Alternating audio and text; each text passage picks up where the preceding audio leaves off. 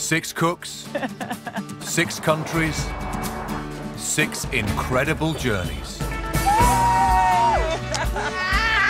Stepping outside their comfort zones. It's not for the faint-hearted, for sure. Our cooks will travel far and wide. Route 7 all the way.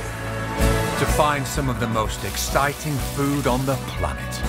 If you're back in the UK, you get tandoori chicken, nothing like this. It's beautiful. This is the best food I've had in Egypt. It's pure, it's got heritage, it's got love in it, you know. They'll go off the beaten track. Crocodile. Crocodile sausages. Meeting extraordinary people. Exploring ways of life unchanged for centuries. No electric blenders in the jungle. Have to do everything by hand. Take your life into your own hands. We're on the road now. As they travel, they'll see how the language of food transcends cultural differences. I've never huffed on a cheese before. and a world away from home. This is why I love Australia. There's no excuse for a bad pie in Australia. This is the beginning. Where do we end? They'll learn lessons that could change the way we cook forever. I've been cooking a barbecue wrongly all my life. Wow.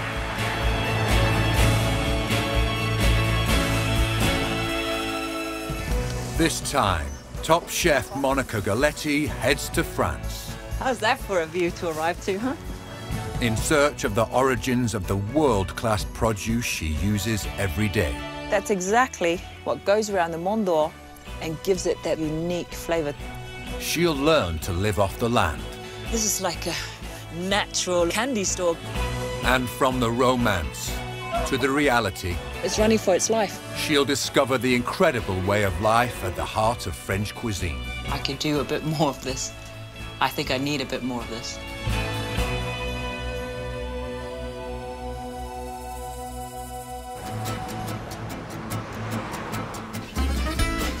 Andy, when you get a minute, just get these on the tray in, in the fridge, yeah? This is me in a nutshell, cooking haute cuisine in a high-end restaurant. I moved here from New Zealand 15 years ago, starting on the bottom rung and working my way up to become senior sous chef. This kitchen is my life, and it's where I met my husband. How many wines are you having? Six different wines. Six different. Yeah, two wines. David is the head sommelier here. That's pretty much how much time we get together here. Um, I won't see him until tomorrow morning again because he's here most of the time and I'll go pick up our daughter in the evenings. That's way it works. As a chef, especially when you're in a high-end restaurant, you're quite spoiled with a variety of amazing ingredients that are available to us. We get the best of the best here. You've never tried a Mont d'Or? All right, today's your lucky day. Working flat out, I've never had the chance to spend time in the field finding out how all this incredible produce is made. But that's about to change. To get out there and then to really be a part of the producers that are behind the scenes of these amazing ingredients that we get and getting my hands dirty. I'm really looking forward to it and I'm really excited. Everyone runs away from me. Backing me all the way is my friend and boss, Michel Roux Jr. You ready for your trip? I'm always ready. We here in the kitchen are just looking at that very, very end product. But you know, you're going to see the passion and respect that goes into it. Although he does seem to have an ulterior motive. Promise to bring me back a piece of Comté Yeah. and a bottle of wine to go with it. That's asking a bit much.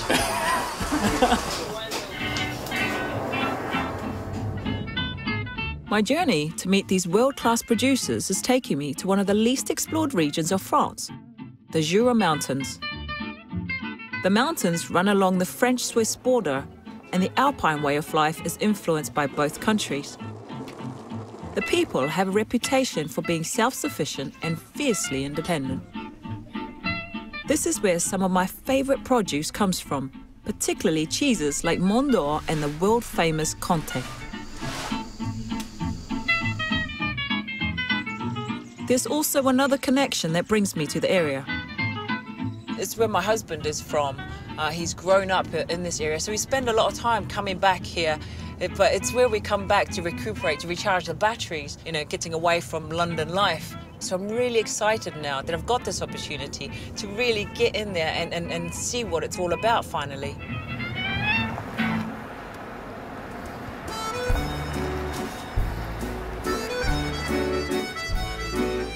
But before I head for the hills, I have a stop to make. I'd never be forgiven for not popping in to see my mother in law, Betty, at the lingerie shop she manages. Coucou. Bonjour.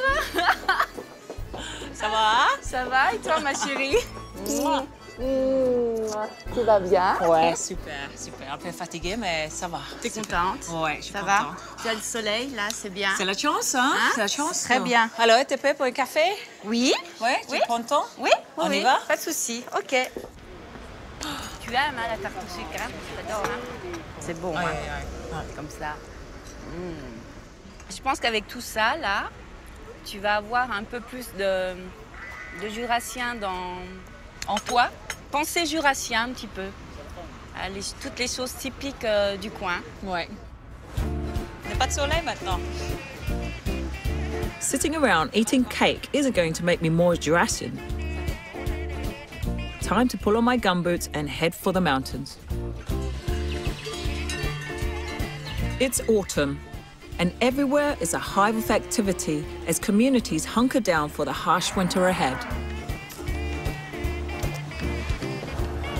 My route takes me through wine country. It's October, harvest time. This is what it's all about. Ah, so lucky to be here. I've got to take a selfie just so I can wind up my husband.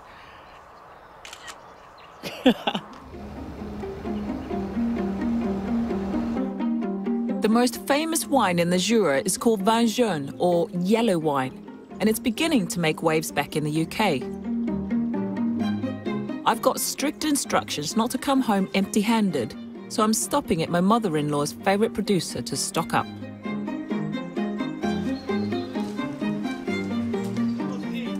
Enchanté, Jean-Paul. Ça va? Fais la bise, là. Is made from the white Savagnin grape, a key component of its appellation d'origine contrôlée, or AOC. As well as being a guarantee of quality, the AOC is linked to the place where something is made, as it's believed that the terrain itself, or terroir, gives a product its unique qualities. Jean Paul is kind enough to show me his cellar. Wow.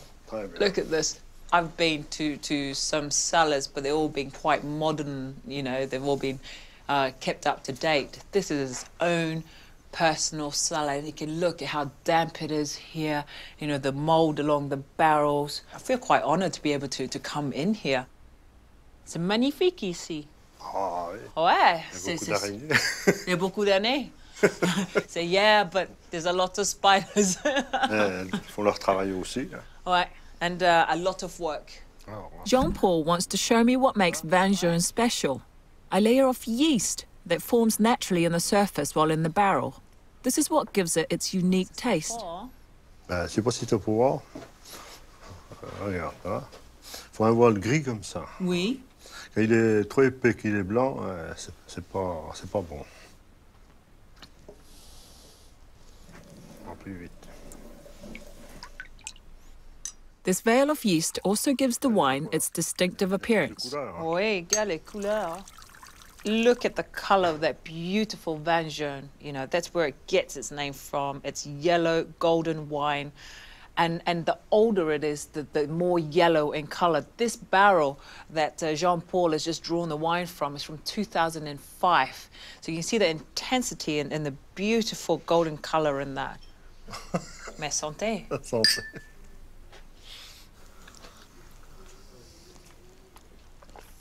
on tasting it, it's very smooth, very similar to, to sherry. There's a strong earthiness that comes through the wine. It is, for me, an acquired taste because I am not from the region. But now that I'm used to drinking this, personally, I'd, I'd happily take the barrel.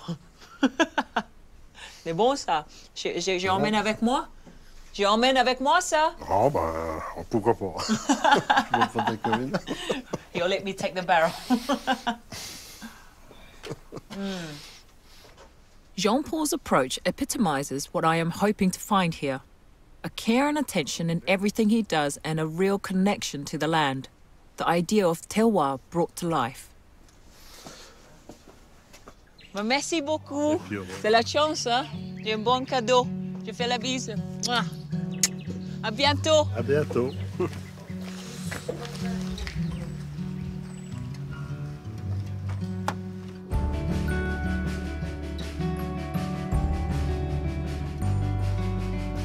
This peak is Mont d'Or. It defines both the landscape and the produce that comes from here. It's dairy country. There are cows everywhere, and their milk is used almost exclusively to make cheese, including some of my favorites. It's mid October, freezing temperatures, and snow are just around the corner so the cattle are brought down from the mountain pastures to spend the winter in barns. At this time of year, people from all over the area come together to celebrate their farming heritage at a festival called a comice. There's one happening tomorrow, and preparations appear to be in full swing. Lots of Christmas trees with decorations on them. Everywhere. Nearly half of the working population up here is employed in the dairy industry, and most villages have their own specialist cheese shop. That is a big cheese. Ah, combien de kilos? 35 à 40. 35 à 40. Ouais. This wheel that you can see here, it's about 35 to 40 kilos of Comté. I think Michel uh, would have a hard time getting through that if I was to take him a piece. Merci. Hein?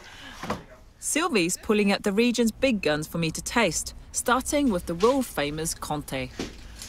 Like some wines, Comté has Appellation d'origine contrôlée, or AOC status, which requires the cheese to be aged in a cold cellar for up to two years. Ah. Voilà. Il a 15 mois.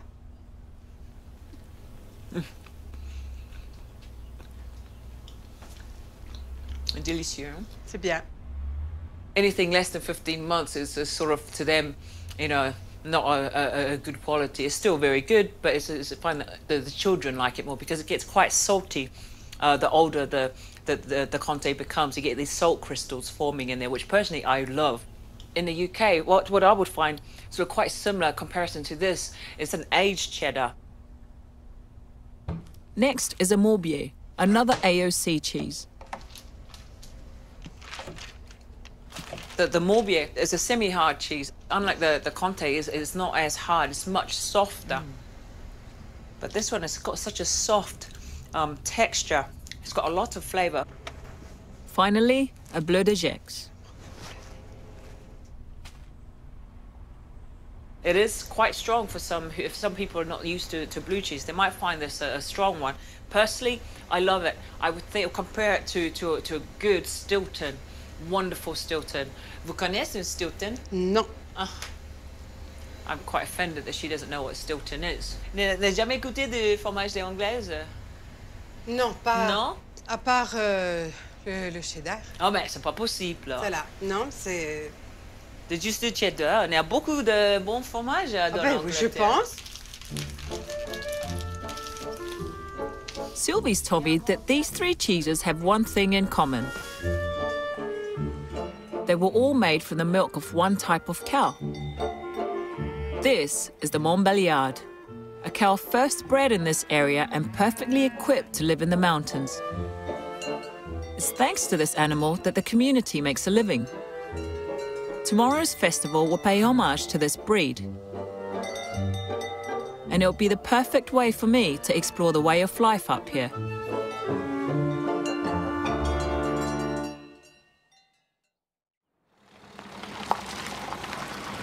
It's 5:30 a.m. on Julien Le Toublon's dairy farm and it's freezing. Bonjour. All hands are on deck, with friends and family helping him prepare for today's comice. But Julien is up to his elbows elsewhere.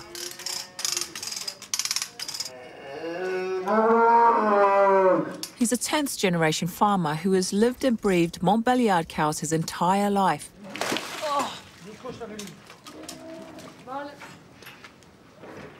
That's so beautiful, no? Oh my gosh, I've never seen anything like that. Yeah. Claire Guyon is a cow osteopath and knows the Montbéliard breed well. In the winter here, we've got one meter of snow, so they have to stay inside, and you give them uh, hay. Cheese made in winter or cheese made in summer is different. Definitely, you can Yeah, yeah, feed- yeah. taste it on the cheese. Yeah. Julien's herd is small enough for him to know each animal as an individual, as well as their family trees. There's nothing like milk straight from the farm. But this milk's not normally for drinking. It's used exclusively to make Comté.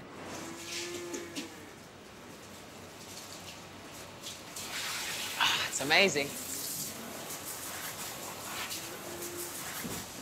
So creamy, so delicious, yeah? Oh my goodness. Julien is taking 14 of his best dairy cows down to the festival.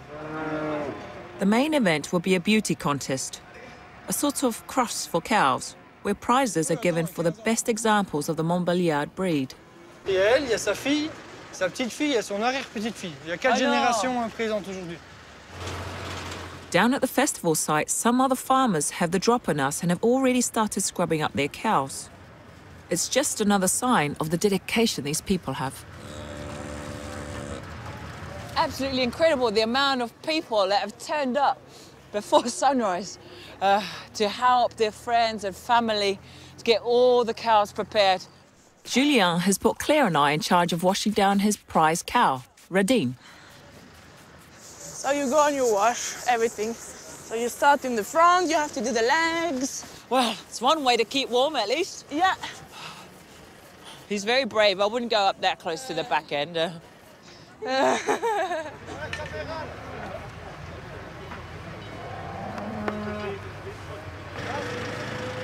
The final touch is a good luck charm. C'est la coche à ma petite fille. Ouais, c'est ta pe- petite Ouais. fille. Son Louise, this particular bell is the one Julian bought for his daughter's uh, baptism. Uh, we normally buy like a spoon or something. His daughter gets a big, massive bell, and uh, it's going on our cow for today's competition. Good boy. So, what does it take to be crowned a cow beauty queen? Usually they judge the back, like they have to be uh, strong and like uh, flat back. And then you judge as well a lot about the pelvis. Yeah. It have to be really large. You can see all of them are like really large pelvis. Right, so it's very important having a big booty. Yeah. Yeah. Definitely bigger than that one. Yeah. And then they judge the tits as well. Like to be f- the four of them going down. Yeah, very natural looking tits, not uh, not uh, deformed. yeah. this is a very awkward conversation. and yeah, like useful to put the the milking machine. Yeah, to attach the, Yeah. the, the, the milking. Uh, That's really important. I can feel the excitement building across the showground, and I've been told the preparations for the comice take eight months.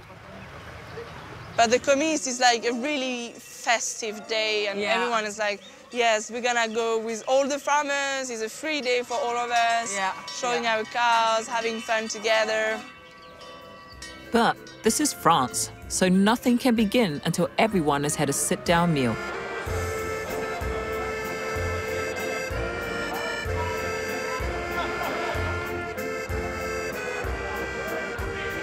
What a great way to start the morning with a hot soup. In here was chestnuts and bacon, and they poured a hot, creamy pumpkin soup on top. Still smells delicious. Mm. And my baguette, of course. My cheese. and let's not forget my wine. Normal breakfast at this time. Allez, santé, hein? With everyone filled for the day ahead? The serious business of judging can begin.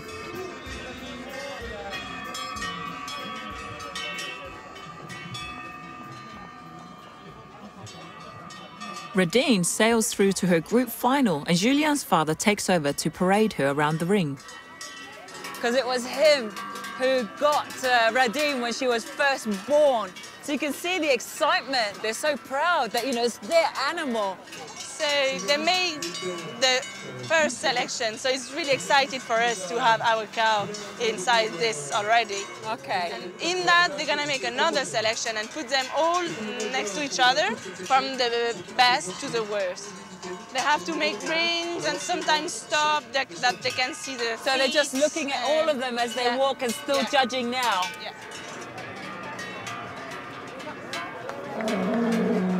Well, we've made it down to the final three. And uh, Claire and I think it's because it's all due to our hard work of uh, cleaning uh, Radine up this morning. After much rumination, Radine gets third prize. Not bad for a 15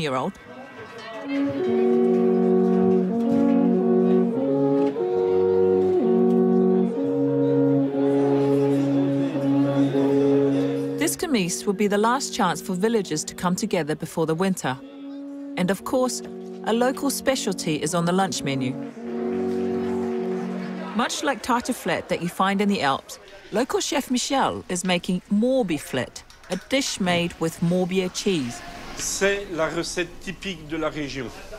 Euh, on avait le fromage, les pommes de terre venaient du jardin, des oignons, le lard du cochon de la ferme. Donc avec les éléments de la ferme, on arrivait à faire un plat consistant qui tient encore, surtout l'hiver. He's kicking off his third batch of the day, and we're already under pressure as front of house have run out. With 500 people to cook for, this is a world away from the haute cuisine I'm used to. Wow. Normally everything is prepared and they're in containers, but we would not cook, you know, one big batch in, in, in one go. This is impressive. First, onions and bacon. So we're just cooking it down, sweating it down with the with the bacon until the onions are, are translucent. Now we're adding 16 kilos of uh, potatoes. In goes some white wine and cream. And it's seasoned with nutmeg and herbes de Provence. And then, of course, the, the Morbier, where it gets its name from, the cheese that he's adding in now. Michel seems to be feeling the pressure. I know what that's like. Madame, monsieur, euh, le chef me dit encore juste 5 minutes pour le fondu de fromage. Désolé, 5 minutes. Allez, dépêchez-vous. Pardon, merci. The production line has ground to a halt. And not a moment too soon, the morbiflette is ready. It's pretty quick. 60 portions in what, under 20 minutes, cooking that much? It's not bad going. Ok. Okay. Et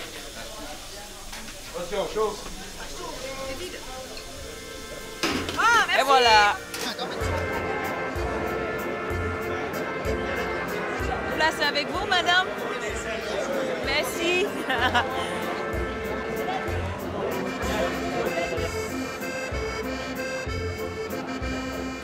It's a great thing to do in winter, you know, coming home from work, you know, knock that together and sit down as a family and have it as a meal. It is absolutely delicious.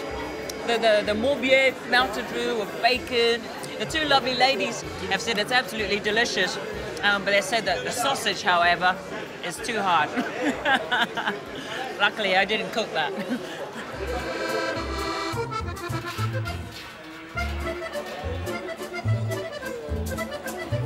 Today has given me a privileged glimpse inside a rural community, a world away from my life in London.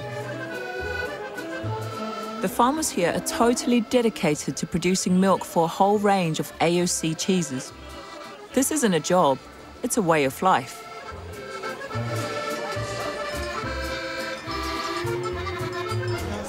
For Julian, there was one last tradition of the day, a fondue to thank everyone who's helped out. There are different recipes for this all over France, but for Julian's family, it's simple. Garlic, local wine, and of course, lots of Comté.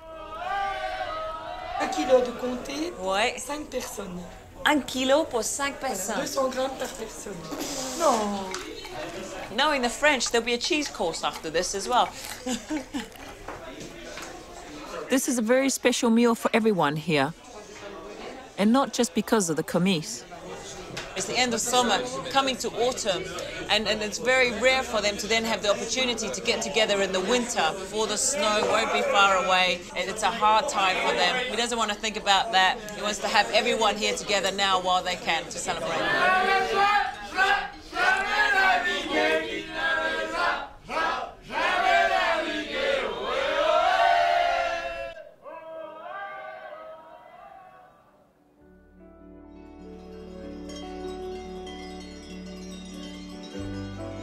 The coming of winter is when most things around here shut down. But it's also when one of my favorite cheeses starts being produced Mont d'Or.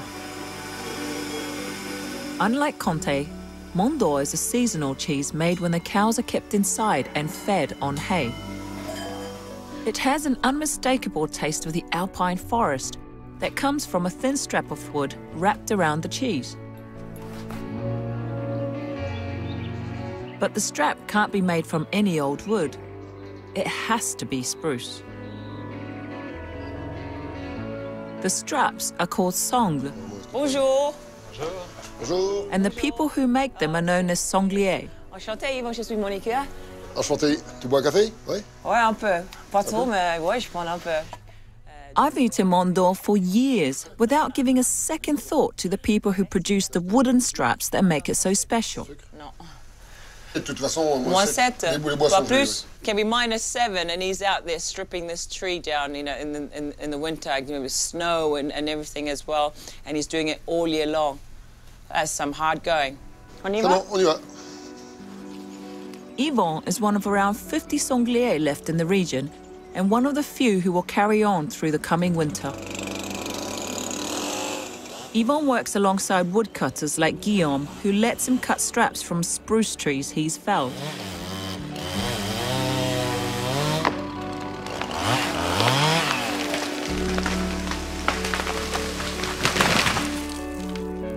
No money changes hands, but Yvon makes sure they are rewarded. Tu fais ça tout le temps? Tu fais le feu comme ça tout le Souvent temps? le vendredi. Le vendredi? Ouais. D'accord. Pour remercier les bûcherons euh, d'avoir trouvé les bois. Et puis c'est une façon de, de se retrouver un petit coup euh, puis manger ensemble. Quoi. C'est bien ça. On arrive vite d'amener l'arc en scout et puis. Oui, casse-croûte Je te ensemble, merci, les quoi. amis. Voilà. While the fire burns down, Yvon gets to work slicing off the bark. This reveals a layer of the trunk called phloem, the part of the tree that transports sap. A special tool called a spoon is used to cut the straps. En l'occurrence, celle-là, elle va. Eh, elle, est- elle est droite. Yvon can cut 300 perfect straps an hour. My turn now. Ah bah, pas mal. Ouais, ouais. Hein Ouais, Ça c'est bon. va. Not bad. C'est bon, non, non, elle C'est est bon, bonne. elle est Ah, bonne. elle est bonne, impeccable. And there we have it. That's exactly what goes around the Mont d'Or and gives it that, that special, unique flavour to, to the cheese. Several things about Mont d'Or are regulated under its AOC, such as where the cheese can be produced. This protects the cheesemakers from outside competition. But the spruce straps can come from anywhere, leaving the local sanglier exposed. Comme ça. Euh, T'es combien un peu vendu? Bah, Nous, on les vend 35 centimes, celles Ouais. qui sont fabriquées dans la région. Et les concurrents qui viennent des pays de l'Est, euh, eux, ils sont à 25. Ah, mais d'accord. OK. Il y a 10 centimes de moins. hein. OK. Euh, Ça me, ouais. fait, ça me fait beaucoup de tort. Ouais. Without the protection provided by AOC status, this ancient profession could die out here.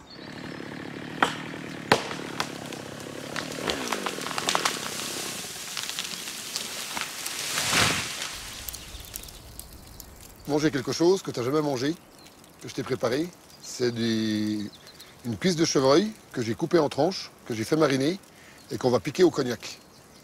We've got uh, quite an impressive uh, cook amongst us here. Huh? Tu, tu me diras si c'est bon. Oh, yeah. Before this, uh, Yvonne has marinated the venison in uh, herbes de Provence, uh, the olive oil, and uh, mustard. I love this. I've never injected meat like the way he's doing it. This is exactly the kind of uncomplicated food I was hoping to find in the mountains here. You think they'll let me do this in Hyde Park? Bon appétit. Bon app, merci. Bon appétit. That is just delicious. You know, that cognac he's injected in there. It can really, it's got such a fresh hit in there. You know, it's not like when you deglaze or, or pour a sauce into a pan and then the alcohol evaporates. It's actually in the meat. You, you can taste it. And his marinade, you can taste the mustard uh, on this. And it's really well seasoned. You know, the salt that comes through this, absolutely delicious. No better way to have this than, uh, you know, on a barbecue out in, in, in nowhere. I actually, I like to insist that I only eat my meat like this.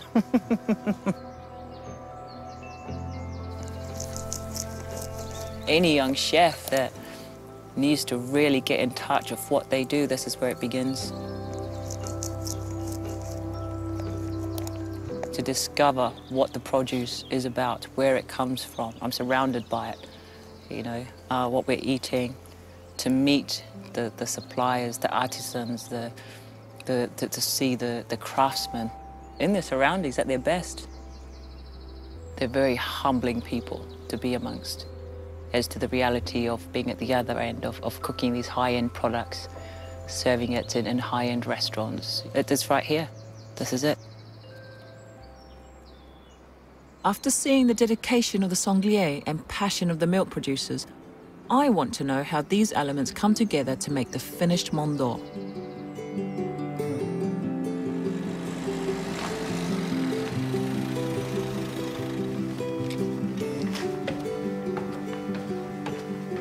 Looks like they won a few prizes, huh?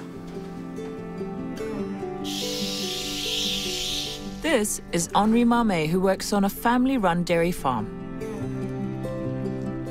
Il est parfait. J'y vais, j'y vais comme ça. Mais tu vois les différences, hein?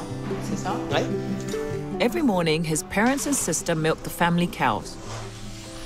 I've arrived just at the point when the milk has solidified and is being separated into the solid curds and liquid whey.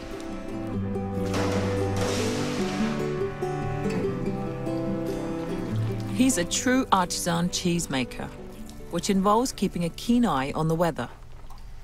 Euh, s'il fait chaud, s'il fait froid, euh, s'il y a de l'humidité dans l'air. Euh, donc il faut vraiment être autour de la cuve et puis ben, adapter un petit peu la, la fabrication en fonction de l'évolution des grains. D'accord, d'accord.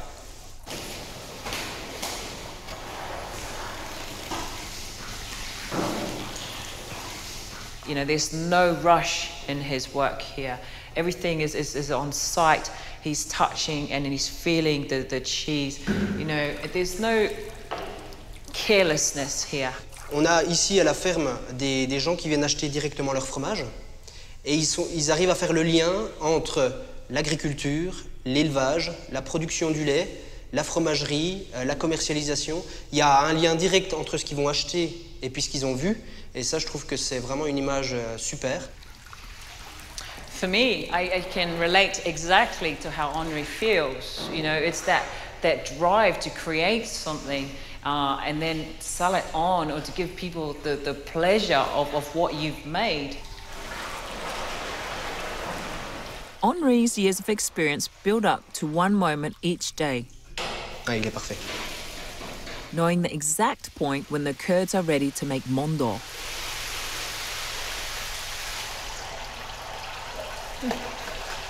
It's very soft, jelly-like, and it tastes like a very fragile, very, very light yogurt.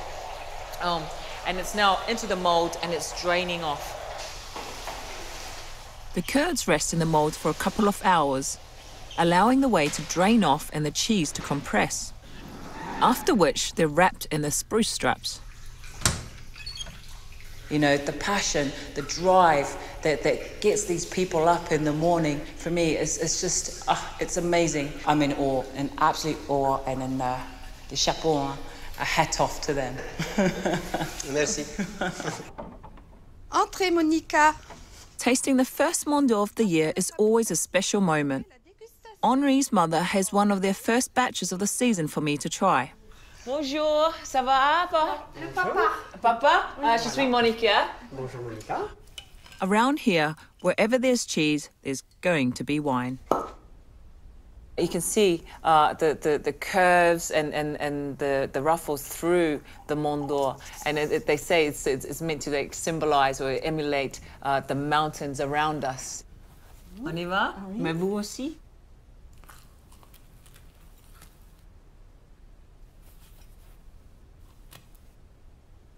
It's very early in the season and it's very clear because it's much lighter. Yes, it's very creamy still, uh, but the taste is, is, is, very light. It hasn't got that, that, that sort of richness and, and that, that woody, the strong woody taste coming through yet. It's absolutely delicious, but I think come the Christmas period, this is going to be at its best.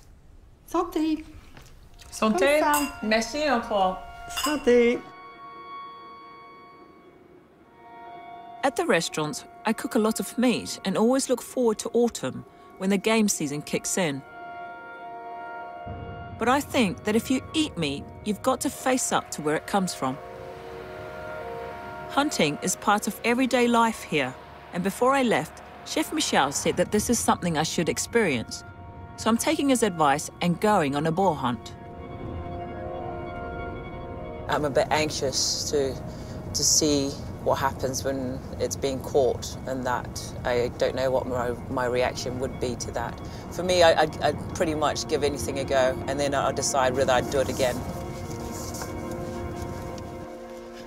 Bonjour. Bonjour Monica, vous allez bien? Oui, super. Francois Dole is master of the hunt. His family have been breeding hunting dogs for three generations, and a key part of his enterprise here involves raising their own boars. These are released into a large but enclosed area so the dogs can be trained to pick up a scent and track the boar. This way, there's no impact on the wild population.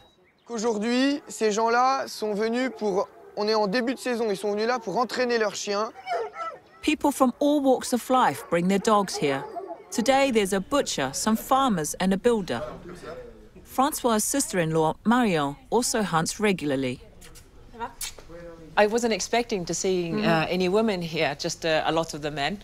Uh, obviously, majority are men here. Mm -hmm. what, what, what's the, ratio of, of, women that do hunting now? In this department, there is 8,000 this year, 8,000 person uh, asking for the license and 600 are women. Wow. So each year it's more and more. The women, they're hunting as well with dogs like this, with guns, or they are doing the chasse à courre, so with horses or bicycle, all depends. Usually there is a lot of women practicing this because they can come with kids and they can ride a horse and there is no guns used. The, the dogs have to catch the, the deer or the boar or the rabbit. They're excited, huh? They want to get out there. Like the hunters, the dogs come in different shapes and sizes. D'accord, on y va. Today, there are no guns, unlike most hunting or stalking in Britain. The dogs will bring the boar down, and then a hunter will dispatch it quickly with a knife.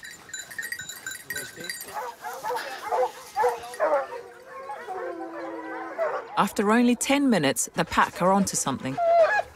Il y a des chiens qui se récrient un petit peu, des chiens qui ont connaissance de la voix et qui, quand ils ont connaissance de la voix, le chien cherche ouais. et donne de la voix. Il, il se récrit, il se récrit. Et là, apparemment, il y a des connaissances. I haven't seen it yet, but the hunters have caught sight of the boar. Apparently, it's a good size. fait combien pour vous? Ouais, 65. So they're just talking about uh, the, the wild boar they've spotted. It's, it's, it's a, they say it's a beautiful black one. Uh, 65, I think, sort of 65, 65 kilo maybe. Uh, and he's saying it's got a very big head on it.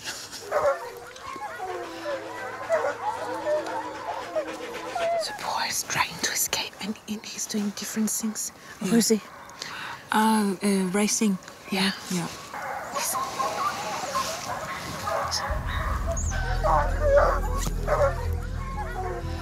Coming very close. Yeah, can. Whoop.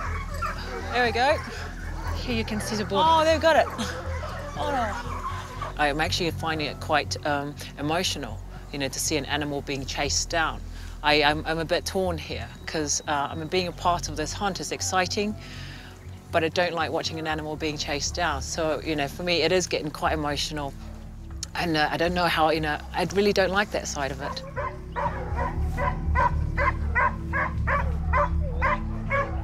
It's running for its life. It's running for its life from us, from the dogs. Not prepared for that. The harsh reality of, of, of hunting, isn't it? The boar is beginning to tire, and the pack is getting close to bringing it down. As soon as this happens, one of the hunters will dispatch it with a knife.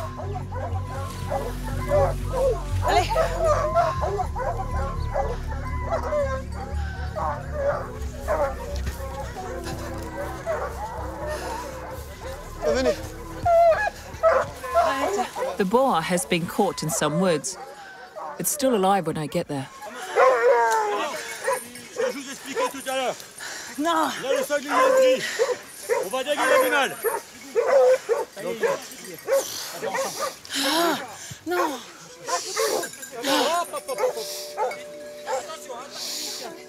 Thankfully, it's over in seconds.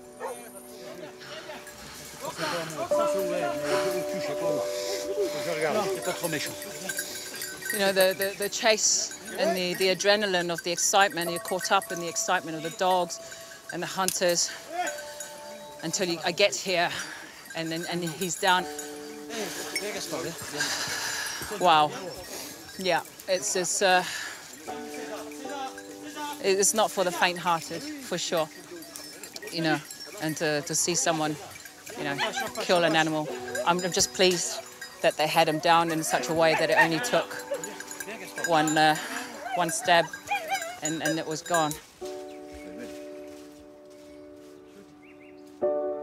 It's traditional for the hunters to pay their respects to the animal and the land that produced it.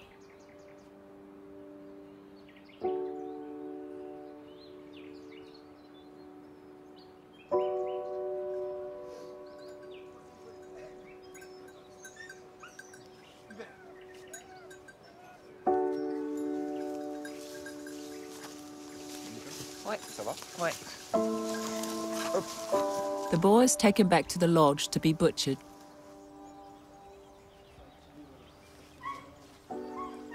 I've handled a, a, a dead wild boar before, but never warm like this. It's so warm, and it, you know, handling it like that is, is different. You know, it just reminds you that uh, it was alive just a moment ago. The, the, this connection I never had is, is so real here. Almost to, to, to, to do this, I've got to like go into it quite cold, you know, to, to the, try and get the emotional out the way. I can't, I, I, you know, I need to sort of block it. It's a danger factor here because the, the, the innards, the offal, is, is the first part that's going to go off and it gets quite dangerous. So we want to remove this offal now. Only kind of hot meat I touch is when it's being cooked.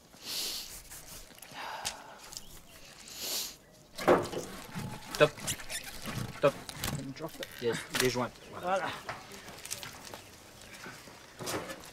Each hunter will get part of the carcass to take home. Nothing is wasted. It's lunchtime, back in my comfort zone. I'm helping Frank cook the liver. It'll be the highlight of the meal for a bunch of hungry hunters. Pig liver, I find, can be quite strong, very intense and, and heavy. I mean, this is a boar, so you can imagine it's even stronger in, in, in taste. I, I personally wouldn't want to eat this very pink. I would probably have it a little bit more cooked, so more on the, on the medium side. But uh, he's also going to do what's called a persillade here, which is very classic French, garlic, shallot, and parsley. Bon? Encore une. Encore une, là. Encore une. Ouais. Voilà. Alors, c'est parti. Don't think this is going to take very long because you can see the, the, the liver's been cut quite thin. Got Then comes a healthy dose of wine, from the Jura, of course.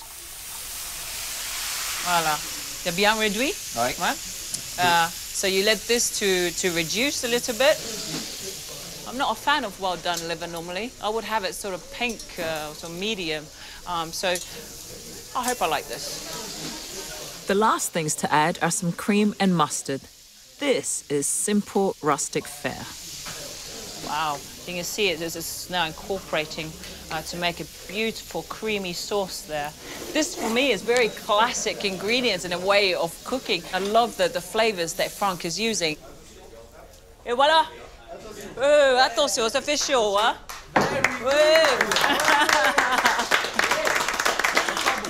Ouais. attention, ça fait chaud. Oh, ça sent bon, hein? Merci, Franck.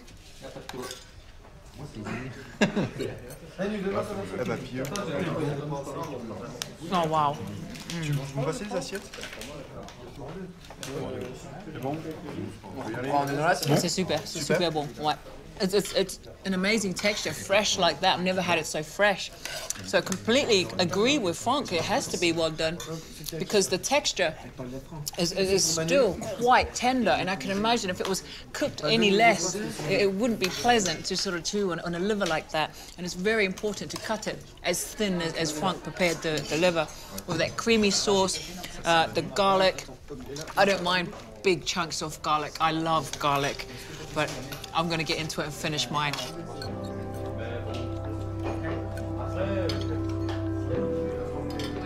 I get it now. I completely get it. I would absolutely tear into one of my lads if I got this in my kitchen and they were to waste something or disrespect it in any way, more so than I normally am. And I can be quite harsh in the kitchen. You know, would I would I come back again and do it again? I, I, I can't answer that right now. Although I had my qualms, I can see how important hunting is to people here. It's a way for them to stay connected to their land and their culture.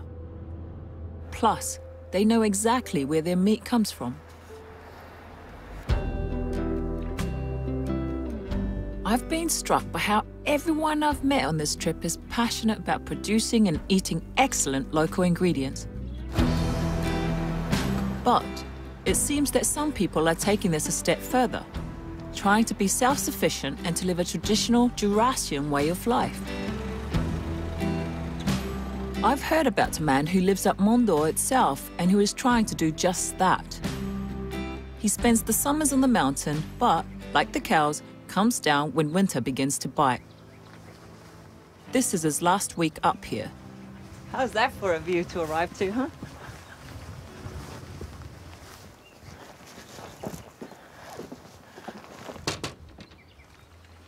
Allô, Norbert Monica Oui, c'est Monica, enchantée, je fais la bise. Ah.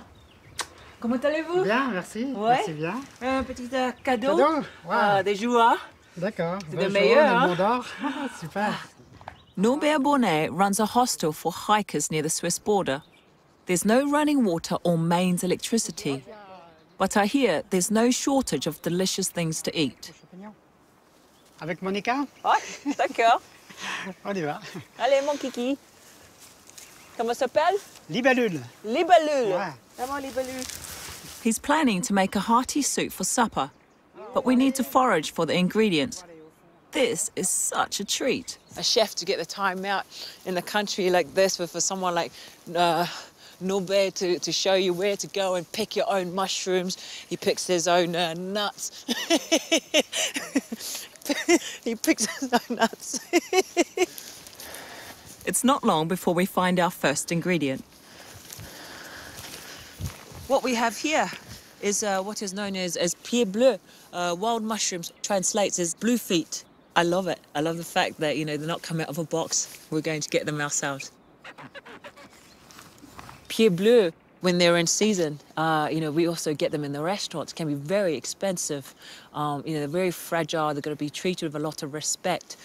Uh, but I've never picked them out in the fresh like this. Wonderful.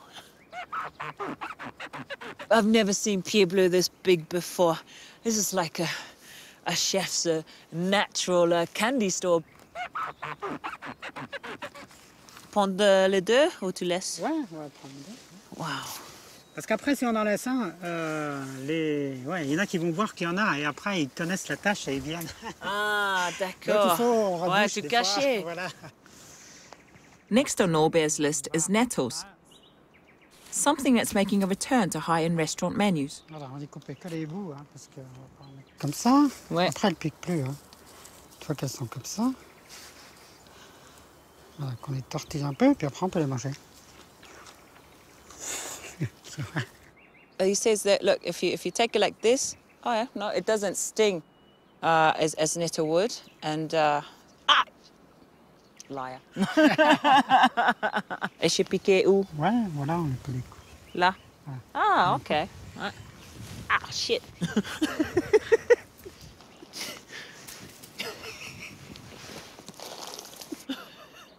Up here in the mountains, there's not much choice for, for green vegetables, and this is a great source of protein and minerals. Ah! Norbert has a small veg patch where we harvest some onions, chards and leeks for our soup. But this is France and there's always dessert. Norbert spotted what we need to make a fruit compote. What we have here, some very old uh, wild pear trees. You see them? They're minuscule. Absolutely adorable. They're really quite solid little pears. Out of curiosity, I can't help myself. I've got to try one.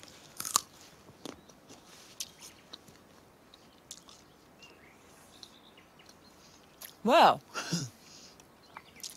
now we know why they're still on the tree. Voila. Okay, I'm ready to ride back.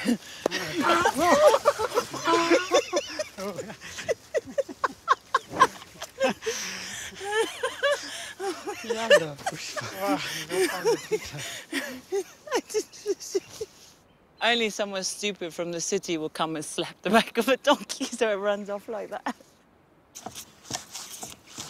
Prep takes me back to my commis chef days. Wash, chop, and chuck in a pot. There's no actual meat going in this dish, but what we do have that's going to provide that protein are our blue feet mushrooms, the pied bleu mushrooms. Despite my misgivings about the pears, we're chopping them up to make some compote along with some wild apples Norbert found a few days ago. And there's one final thing to enhance the flavour juniper berries. Wow, really is, you know, it's going to be flavors of the mountains here. While Norbert tends to the nettle soup, I add the pied bleu mushrooms or bluets to some sweated onions and garlic. What we have here is some dried cumin, which grows naturally uh, around the land here. I've always associated that with more, you know, uh, uh, Asian cooking. I'm not hesitating to add it because it's actually come from the same area. They've grown in the same woods here. That will be delicious. Look at that. Look at that. Vin jaune into the mushrooms. While that's cooking, we turn our attention to the fruit compote. Norbert's got the apples and the pears uh, stewing down to this very thick uh, compote. Amazing the smells that's coming from, from the stovetop right now. Okay, so now it's ready. Some brown sugar. Norbert doesn't do things conventionally. We're eating our dessert first.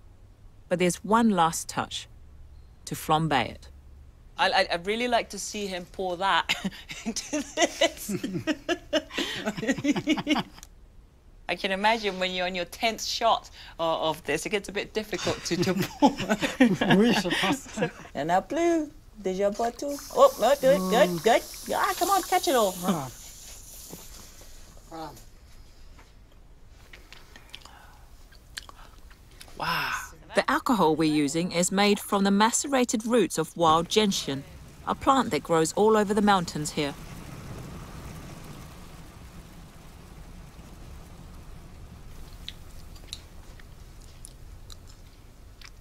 I've never tasted anything quite like it. You've got this very strong alcohol, uh, which has have a very strong uh, spice uh, uh, note to it. It's the first thing you taste, and then comes the caramelization that you get with apples, as you would in a in a tatin, um, and then you get the very strong apple and pear compote underneath, and finishing on even more notes of the juniper uh, that we added to it. Ouais, ça, ça sent le Jura. voilà, ça, on va mettre. The nettle soup with mushrooms is ready. This is a wonderful, wonderful tasting soup. It is absolutely delicious, the perfect light dish, yet still very filling for a winter's evening.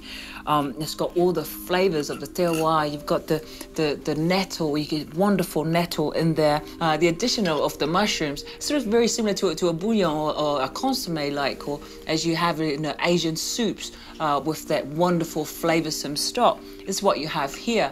But instead of the, the saltiness uh, that you would get in the Asian soup, you have very earthy flavors coming through and little hints of, of that cumin.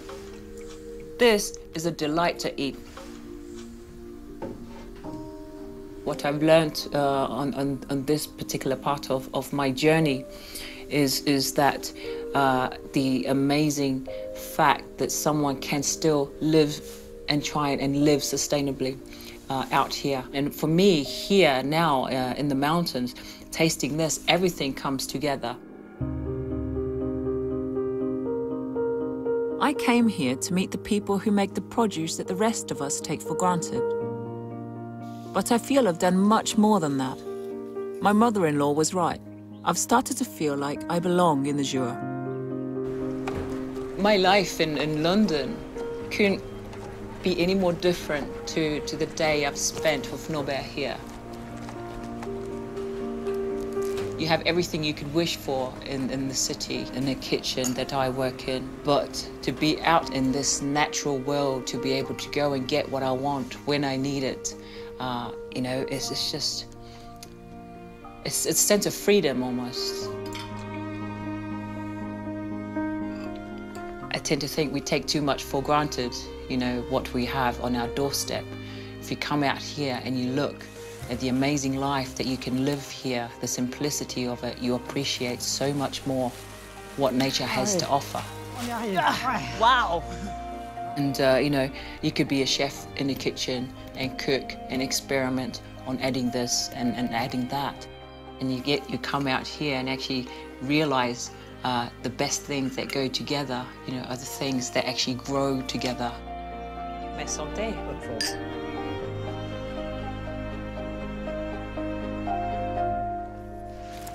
It's just amazing. An absolutely humbling experience. Absolutely. You know, I just needed to pack my daughter and husband up and move out this way. But could I live like this uh, day in and day out? I don't know. So that'll be the test of time, I think. It really would be. But so far, from what I've seen and experienced, I could do a bit more of this. I think I need a bit more of this.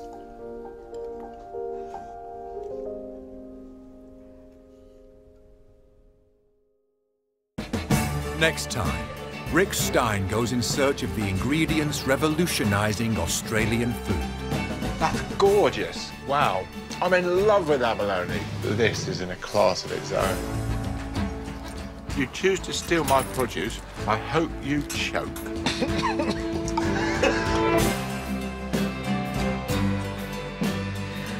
And more foodie adventures with a cook abroad on BBC iPlayer. Catch up with the series so far. Here on BBC Two next, we're popping along to Vic's new tattoo and Botox parlour to get some work done in House of Fools.